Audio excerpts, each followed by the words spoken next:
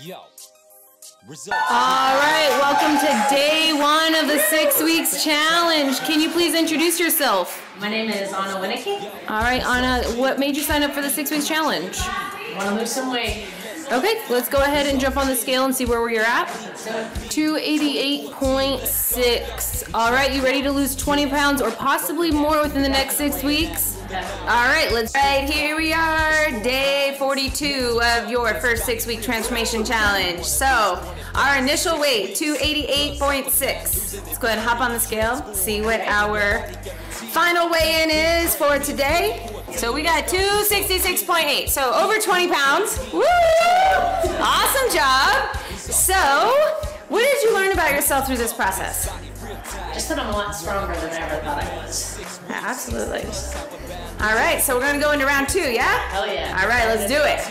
Eat clean, train mean 2014. Let's go. Results gym.